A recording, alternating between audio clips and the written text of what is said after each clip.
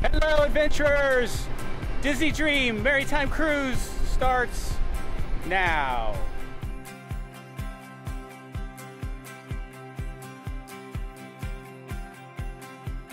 All right, we are so excited to take you along on this five-night Merrytime cruise.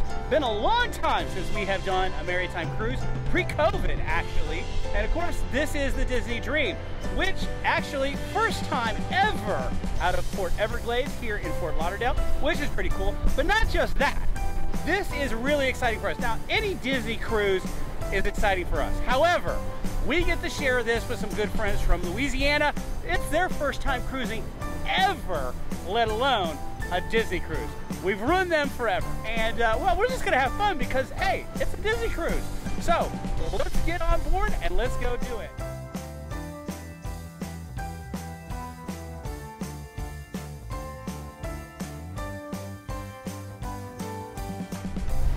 And let's show you a little bit here of the, of, uh, the Dream here at Terminal 4. Now they've revamped this terminal, so we're kind of excited to show that. They've kind of made it all Disney-ish, maybe not like quite like Port Canaveral, but we'll now, see. Also what's new to this cruise is the uh, Magic Bands. We're gonna try, didn't have such a good time uh, or good go with it first time that we were on the um, Magic, I believe. Sorry, well, first time going on the Wish. Two of us worked, two of us didn't. So we're gonna try it again. But hey, you know what? You always got the key to the world. Started this sailing, and this is the first Merrytime cruise for the Disney Dream. So that's gonna be cool too. Tree lighting, I don't know what else we're gonna do. Gingerbread, who knows? We'll just see what we get into for this five night. All right. Number one, Terminal 4. All right, here's a little bit of the new terminal here for Disney at Port Everglades. We'll show you a little bit of the Mickey. Not as big as the Port uh, Canaveral, but they're still pretty decent. That might be the uh, concierge lounge up there, I'm kind of thinking. Maybe. How excited we are for number 24. Very excited. We're with friends. More exciting. All right, it's pretty special. Family of the day. First boarding ever out of Fort, Port Everglades. I'll get it right. Hey!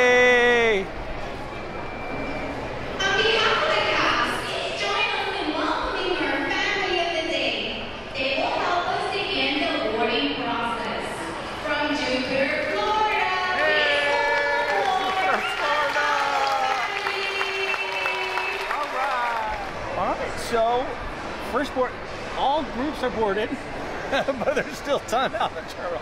It's their first time, right? So this is cut them some slack. Though. It it's is, chaos. it is pretty chaos. But you know what? What they're trying to do that's different from Port Canaveral is that they're trying to keep each group in a section.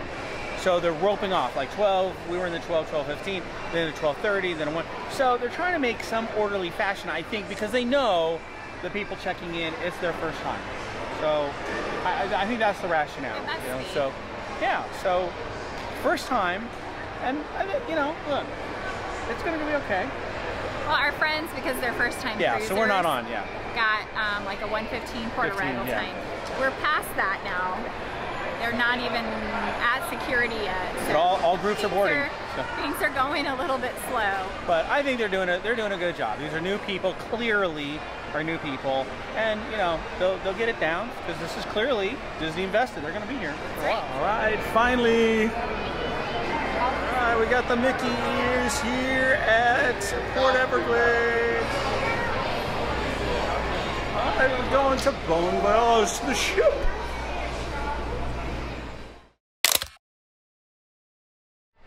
All right. Disney Dream ship. Hey, never gets old, never gets old. Disney Dream, please welcome aboard the Coleman family.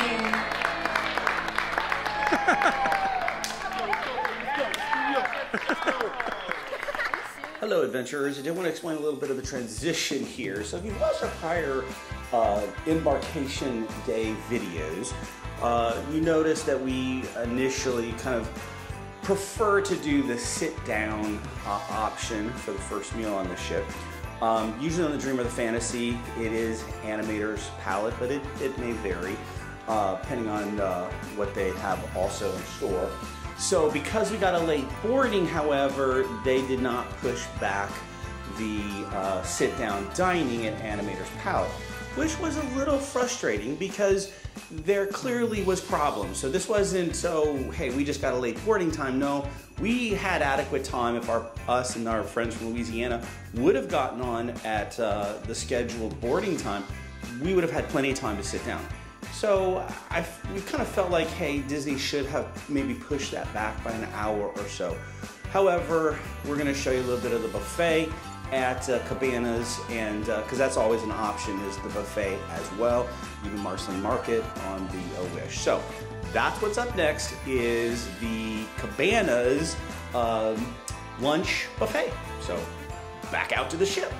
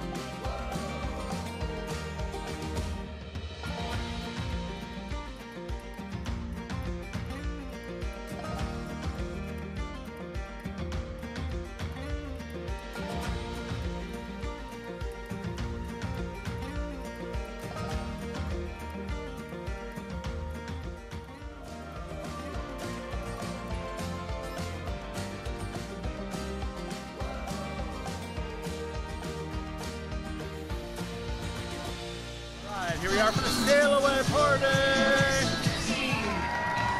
I said, hello Disney Dream! Fabulous food.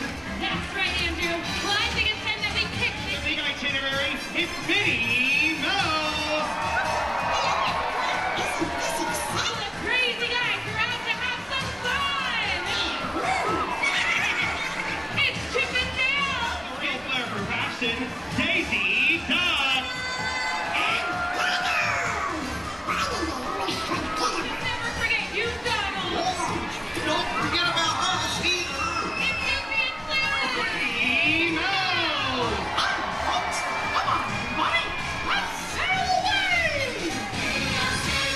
About how many people are still not on the ship? Hatch cruise.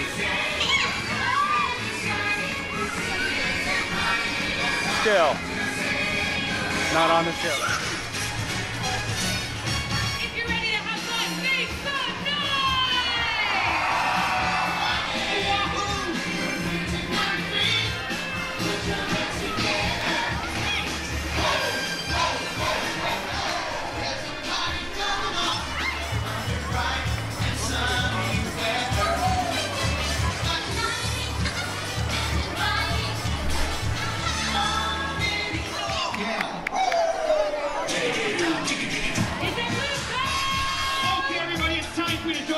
To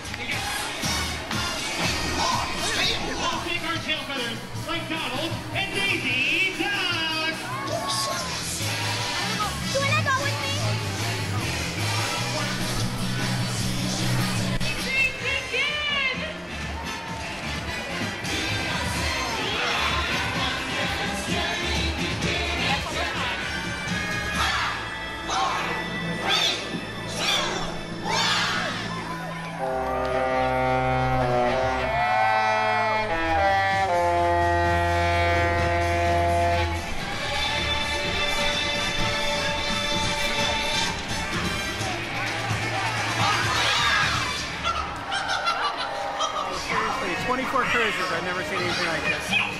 Clearly, I will guarantee half the ship is still not on the ship. And uh, it's 447 right now. They're already going to do two muster drills because clearly there weren't all people weren't there. Sailaway party's done. I would not be happy if I was sailing for the first time on a Disney cruise and didn't get to the sailaway party. So, the front part of the ship here, take a look over Fort Lauderdale. All right. Lovely view of Fort Lauderdale. David, is he at the desk? Okay.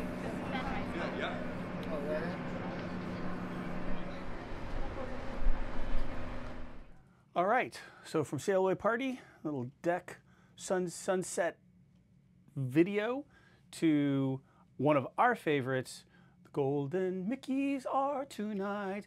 And then we've got our first meal at Animator, our first meal at Royal Palace. Almost said Animator's Palace, Royal Palace. So some good stuff we like on the menu tonight. So let's go do it.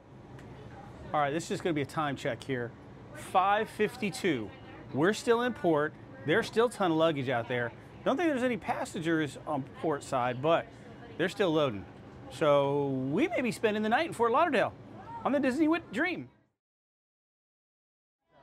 All right, so in the Walt Disney Theater, the Golden Mickeys are tonight.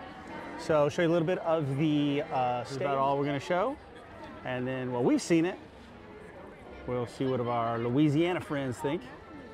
The Golden Mickeys are tonight.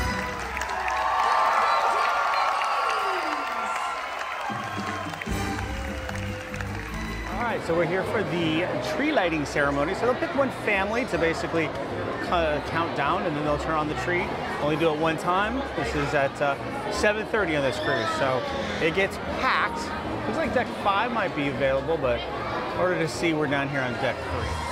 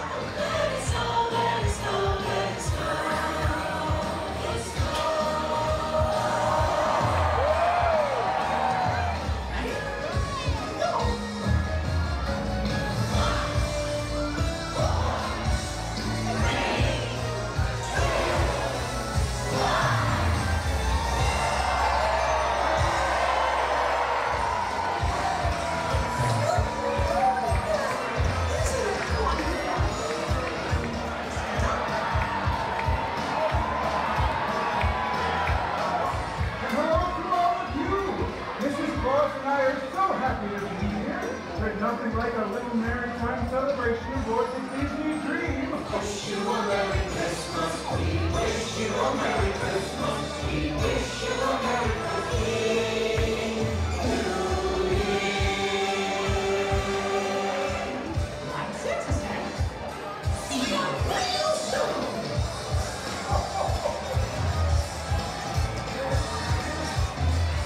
All right, I cannot tell you how crazy this is. 24 cruises never left the port at 7:52 at night. This is whacked out. Absolutely whacked out. Now, luckily, our first port of call is tomorrow's at Castaway Cay, so not a little far away to go, but this is crazy. We've- We've had some firsts, but this is the first. 753, and they haven't even thrown out the lines yet. You got some improvement to do, Disney. You got some improvement to do.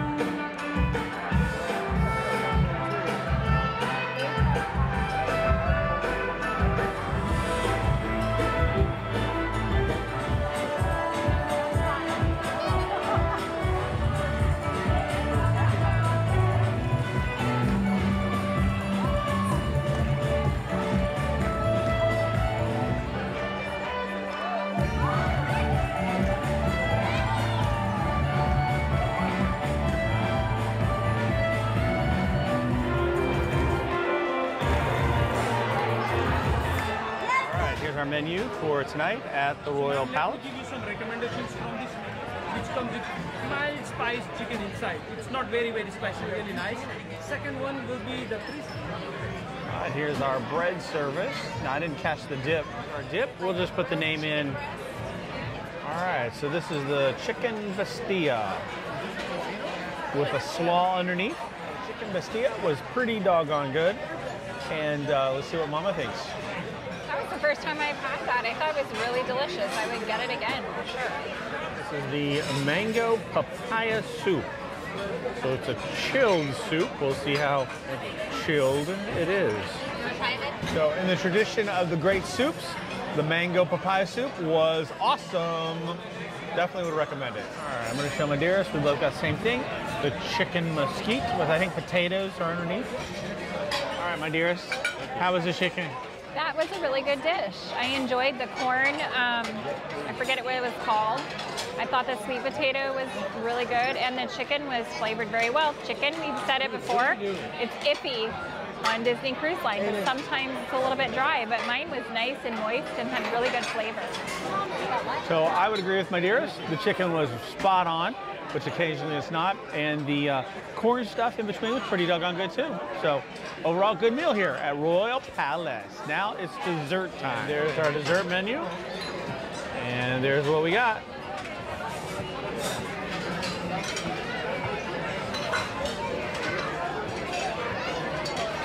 So I got the Kahlua creme brulee. All right, and my dearest got the warm sticky fig and pecan pudding. Looks good. All right, they're making fun of me because the Kahlua, because the Kahlua, if I can pronounce it, Kahlua creme brulee was absolutely out of this world, spectacular. And we'll see how Mama's fig pudding went. How was yours, Mama? I, it was really good. I will say very sweet. I couldn't finish the whole thing. The vanilla ice cream definitely helped with that. So overall, I think it was a great meal. pretty Christmas tree. I haven't had a real chance to show the gingerbread house. This is so awesome, so gorgeous. How cool is that? We'll take some more looks at this.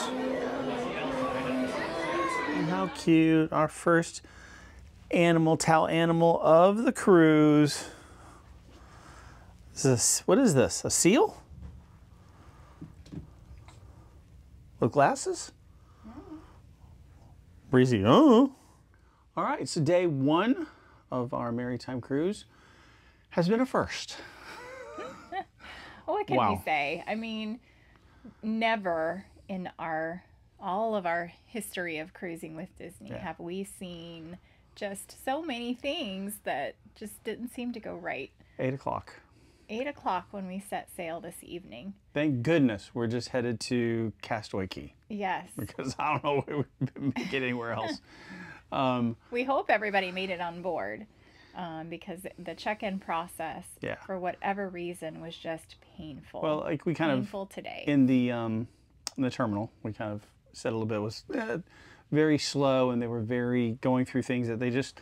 I, I think they were new and they just didn't need to go through. It's like, hey, you checked, you already did all that verification then stuff. I- this I is just read- verification. I don't know how accurate, but I read that there were issues with the technology too Yeah. at the terminal.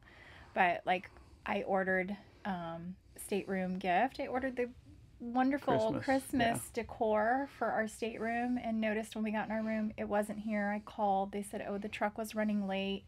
It would be here." And then I got a, a push notification um, during the show of Yeah. all times saying, "We're sorry, we couldn't Yeah. deliver." So that's a little bit disappointing. Well, I, you know, I think that if this was probably our first cruise on Disney, I can be honest with you. I I would I somebody really better better somebody would day. really have to tell me Yeah. that this is not the norm and it's because it's just a new terminal. Again, it's not like Disney's you know not cruised in what 25 years. Um, they have so. Really, I mean, someone needs to kind of sit down. We're, we're traveling with brand new Disney cruisers, cruisers all together.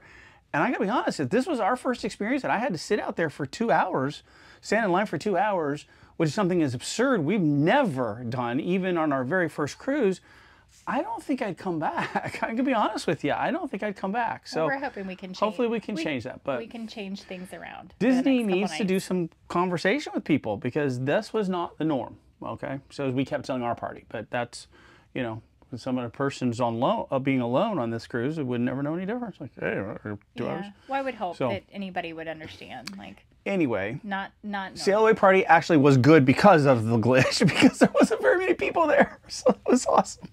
It was one of the fair. But we were um, sad looking yeah. around the deck and saying, Yeah, "Gosh, you, you, could clearly. tell." Well, I showed you. I showed you that. Yeah, so you could tell. Um, and Mickey's um, uh, um, Golden Mickey's. One of our faves, and our and our uh, our friends loved it too. So you just can't go wrong with that. And had a good dinner at um, Royal Palace too. So dessert, awesome. Kahlua, br- So back to the technology thing, the app showed a completely different menu for dinner Yeah, all day, and when we got to the restaurant, we were given handed menus that were totally different, different, yeah. and then the app matched the menus. Yeah. It was very strange, and that I don't think we've ever encountered Yeah, I either. don't think so You forgot to talk about the tree lighting. Yeah, the tree lighting that was special. Now we've not had. I don't recall ever having characters. They just did it. Did it? Am I just? has it been I that long, Merrytime? Yeah, it's Okay, been a long time right. since we've done it, So but I pretty cool. remember them up on the uh, up on deck four. So Okay. it was different for them for us anyway, for them to come down onto deck three So and, I and sing and, and whatnot. showed you a little bit of that. Um, so, oh, you know, hopefully we turn this around. It'll be a great Merrytime cruise. Tomorrow is Castaway, like Tomorrow, Castaway said. Key. So a little different too, because usually Castaway Cay is your last day of the cruise. So this is our second day. Um, Yeah. Then we got a couple of days of So season. we're then excited to Cozumel. get to share that with our friends. So yeah, so Castaway Cay will be good. Hopefully, good weather. Have some fun, and uh, we're gonna bring you along as uh, always. So that said, please like, subscribe, hit that notification bell. We're up for adventure, and what do we always say? Onward to our next adventure. Bye for now. Bye. Well, just when you thought the cruise couldn't get any stranger, we heard a bright star that was called, I don't know what time last night, and then heard, heard anything else. Again, our port of call should be first thing here on day one is Castaway Cay. However, clearly this is not Castaway Cay. Not sure whether we're back in Fort Lauderdale. I don't know. I don't. Not looking like it's Miami port. So, but clearly, this was a need to medically evacuate. So, hopefully the person is okay and nothing serious. But this does happen. So it never happened to us before, but this is. Uh, it does happen on cruises where there is an evacuation. Um, sometimes there's an evacuation at sea. Sometimes there's an evacuation where they have to turn around and go to the nearest port. Sometimes it's in a different country. So uh, clearly we're somewhere. I don't know whether it's Miami. I, just I can't see all around. But um, we're not going to Castaway Cay Day. so again, you know this happens with the cruise. I mean, we had a late time getting off. Again, one of the first we've ever had where we actually departed port at about 8 o'clock at night. Um, and now back in port. Um, looks like we might have three days at sea. So, but again, we hope really this person is okay and is fine and, you know, there's not going to be any, not going to be trouble for this person. So,